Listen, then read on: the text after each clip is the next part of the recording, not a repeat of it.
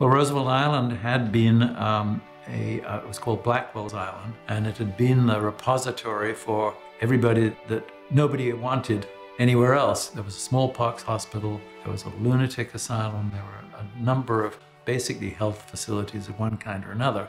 Ed Logue, who was the leader of UDC, the Urban Development Corporation, had this idea that it would make a wonderful place for a new community. The first big project was for the park immediately north of the housing, which was called Northtown Park. The program for that was clearly active recreation. And they wanted a baseball field, uh, some handball courts, and other built elements. And I think, from my point of view, the most significant contribution in that park was I decided to design a backstop that was more than just a backstop.